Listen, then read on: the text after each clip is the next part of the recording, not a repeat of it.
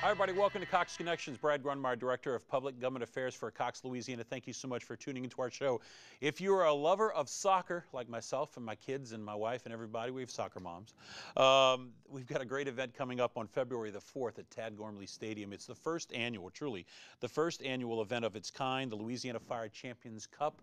To talk about that and a whole bunch of uh, things that are going on on uh, February the 4th, uh, happy to be joined by Julio Paiz, who's Director of Coaching and Player Development for the uh, Chicago Fire Juniors here in Louisiana. Thanks, Julio, for coming, buddy. Thank Good you for having us. Greatly appreciate it. Great. This uh, this is really exciting. Obviously, first of its kind requires probably a lot of work and a lot of first uh, you know lessons learned and all that. But tell us what we're talking about. We have the Chicago Fire uh, coming down to play Absolutely. Real España. Real España is uh, the team that the Fire is going to be going up against. This is a fundraiser that our club, the Louisiana Fire Soccer Club, is putting together as a, uh, again, a fundraiser. Uh, and uh, we are very excited about the opportunity to have two professional teams of this kind in our own backyard. I don't recall, you know, in, in the short looking backwards, this type of caliber of professional players coming to New Orleans to play such a game. Is that true? We actually had uh, two Honduran teams that played last year. One game would, one game happened in uh, in September, and I think there was one that happened in July. Uh, so from time to time we get them. Uh, we are very much interested in making sure that we make it a top-notch event, sure. and so along with the game, we have attached a festival wow. Uh, to give it a uh, an awesome environment. And and to that point, the Chicago Fire, Chicago Fire Major, Major League Soccer team. I don't remember an MLS team coming to New Orleans uh, in recent memory either. So I think back uh, two, three years ago, we back, had a oh, okay. New England Revolution that was Excellent. here. Well, this is going to be great, everybody. As, as Julio said, there's a great uh, festival itinerary that they have, uh, basically starting at 11 o'clock. Now, it's going to be at Tad Gormley Stadium, which has got a great complex, a great place to have any kind of event, more so a soccer event. Great field for that. Saturday, February the 4th from 11 a.m. to 8 p.m. Uh, more information, go to ChicagoFireJuniorsLouisiana.com. Uh, tell everybody what can expect uh, outside of uh, a great uh, international atmosphere. You can have live music, food, beverages. Tell us about it. We are we're definitely very excited about the type of festival that we are putting together. It all will start at 11 a.m. We are going to have a DJ as well as uh, Rumba Buena, which is one of the uh, Latin bands in the city right now that uh, is really happening. We also have Cuban Poppy coming in to do some uh, some Latin music as well, and then we have Dave Payton coming in from Europe wow. to do a 45-minute show. He will be doing the main event that will happen at 3:30. Uh, and then it all culminates, of course, uh, with the actual international soccer match beginning at 5 o'clock on Saturday. Absolutely. The match is for 5 o'clock, and I also I think it's important for everyone to know that uh, not only will we have music and American foods, Latin, Latin foods, we're also going to have uh, create an environment for the young ones to have a good time. We're, we're having a rock climbing wall that's going to be set up there. We're going to have a, a juggling contest for the young ones. We're going to have tennis, soccer. So uh, different events for different age groups uh, of players to hang out and have a good time with. And the, and the nice part about it, as uh, my, I myself, a father who's who's with Chicago Fire, my my seven and my uh, eight-year-old are involved. You guys are going to be showcasing uh, two teams. Uh, one Chicago Fire, the U10 group, will be the girls, correct? Is that right? Absolutely. We actually we'll have be, some. We'll be playing Mandeville. That is correct. We have some preliminary games as well. We have two girls teams. we have our U10 girls that will be playing Mandeville, as well as two of our U12 teams that will be playing at uh, those games will happen at 11:30, one at 12:30, and then we have an amateur match uh, that's going to happen at 1:30.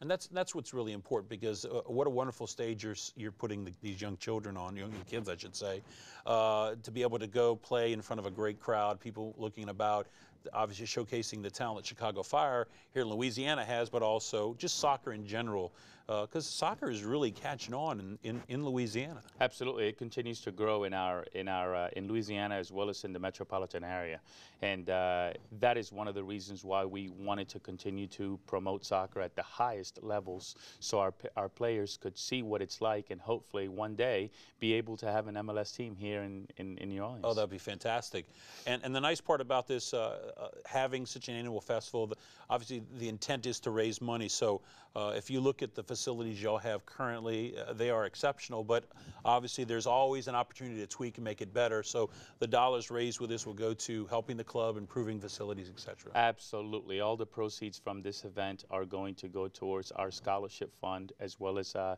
maintenance of our fields and continuing to identify high level coaches. And the nice part about it, too, is I like just, just hearing the lineup and looking at it, as I said earlier, a very international feel to it. You're talking about the Latin foods. What kind of foods? You know, any restaurants or anybody you want to? We have we have uh, restaurants right now that have jumped on board. Uh, Coretta Grill. Uh, we have uh, Pollo Campero. Don't know if, if you guys. Oh, yeah, uh. Pollo I Campero was in has Florida just one time. It come on board, and uh, they are going to be here. They've just opened up their stores, and they're going to be with us. We're going to have Taqueria Corona and a few others that are going to be joining us. So uh, the the Latin foods will definitely be there. One of the things that I definitely would like to mention is that uh, uh, the team coming in from Honduras, Real España, has a player that's very famous, a future legend of Honduras, Carlos Pavon, and uh, he is pretty much in his last days of soccer and the Honduran community is very much looking forward to uh, uh, seeing him play. And we are going to recognize him before the game uh, on behalf of all the Hondurans that live in the city. Oh, absolutely, and and uh, huge. I think Louisiana has the first or second largest Honduran population in this country. So, uh, with that saying, they- they're probably just going to be going crazy. That is correct. From what I'm, I'm hearing right now, everybody out there is talking about the game. Everybody's talking about Carlos Pavon because one of the things that I've failed to mention so far is that there is going to be an autograph and Uh, picture That's what session. I was going to ask. I said, how? what, what a way a chance to meet him, bring bring your soccer ball or whatever you like. Sign. There's going to be that opportunity. Absolutely. At 11:30, from 11:30 to 12:45, there will be an autograph session as well as a, a picture session at the at the festival. And from the fire, you have famous players like. Uh, Pardo, which is the Mexican international, has played in two World Cups. We have Pappa, which is the Guatemalan international, the the upcoming player in Guatemala, 23 years old right now. He is the, the Guatemalan sensation, and they are with the fire. Obviously, with uh, with Real España, you have Carlos Pavon, which is the player that everybody wants to see, everybody wants to be around, take a picture with, and uh, he is going to be with us in a few days. That's going to be fantastic. And uh, everybody, uh, online tickets are available. Tell us about the ticket prices. And uh, is this admission to the festival? Is the festival free? But the admission to how does that work out? Absolutely, that's a great question. We wanted to make it affordable for all, and so the festival, as well as the international match, will cost uh, is costing twenty dollars right now. If you purchase them ahead of time, Yep. it, they will be twenty five dollars at the gate for adults and twelve dollars for children twelve and below. And so for that, uh, get you into the festival grounds. Absolutely, everything for one price. Again, if, awesome. if you go and purchase your tickets now, you can get them from the club. You can get them from, uh, if you go online to ChicagoFireJuniorsLouisiana.com, we have 18 facilities in the city that are all selling tickets. Tickets can be purchased for $20 right now and $10 for children. If you choose to purchase your tickets the day of the event, they will be $25 for adults and 12 for children. We think it's a, it's a slam dunk for everything that uh, their fa- the families will be able to get. Yeah, and if you're just tuning in, we're talking about the uh, first annual Louisiana Fire Champions Cup Festival, Saturday, February 4th, 2012. Uh, festivities begin at 11 o'clock with the actual culmination of the uh, the international soccer match taking place from 5 to 7 p.m. A whole list of things going on. There'll be uh, a lot of great food. There'll be great beverages and, of course, great music. We were talking a little bit more about the autograph session for for players, which will be taking place at 11:30 to about 12:45. Uh, there'll also be great opportunities for, for the kids. There'll be um, juggling contests, rock climbing, and the inflatable jumpers, face painting, and of course, if you want to watch the young people, our young uh, rising stars in soccer, go out there and play. There'll be preliminary soccer matches at 11:30, 12:30, and 1:30, and of course, uh, the big match itself. Uh, what is the capacity at uh, Tad Gormley? 26.5. 26.5. So, folks, we're not we're not talking. Uh, I mean, it's a significant stadium, but it's going to go quick. So just don't sit and wait like most people do in New Orleans. I think I'll go do that today. Do it now. Order online. Get your tickets now, and um, and so you can just show it without any worry. Absolutely, we are looking forward to, to uh, this uh, this event, and hopefully everyone from the soccer community will join us and uh, have a taste of what uh, international soccer is all about. Real quickly, uh, tell us a little bit about the actual program itself.